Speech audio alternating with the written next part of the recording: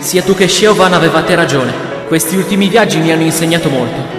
Tra cui una cosa importantissima, latino.